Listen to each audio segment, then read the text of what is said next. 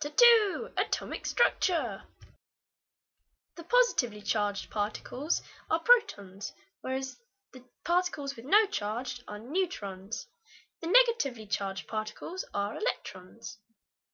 The relative mass of neutrons and protons are 1, where the relative mass of an electron is 1 in 1836.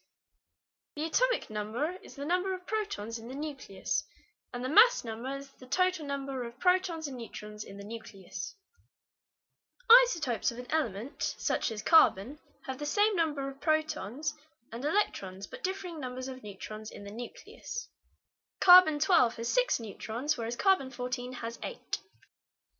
Protons and neutrons are found in the nucleus, and the electrons are in different energy levels, also known as electron shells. This is the atom neon.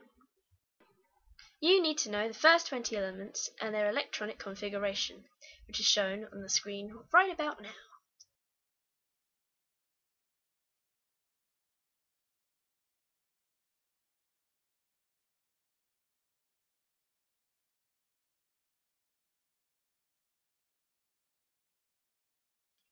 The group number in the periodic table gives you a helpful clue to the electronic configuration of the element.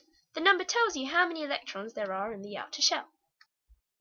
The noble gases have full outer shells.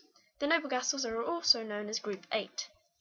Therefore, they are very unreactive, since they don't need to gain or lose electrons since their outer shell is already full.